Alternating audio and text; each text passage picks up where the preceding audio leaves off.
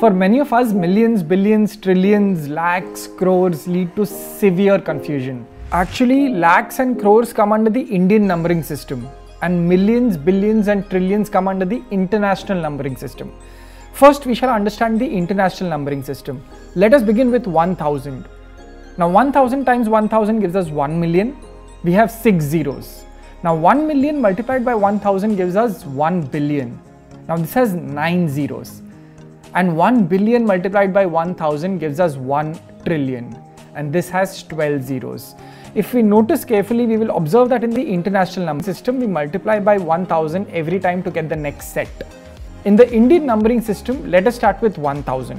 1000 multiplied by 100 gives us 1 lakh. Now this has 5 zeros. And 1 lakh multiplied by 100 gives us 1 crore. Now this has 7 zeros. So if you notice, the main difference is that in the Indian numbering system, we keep multiplying by 100 to get the next set, while in the international numbering system, we multiply by 1000. Now we will look at a few examples in the next part of this video.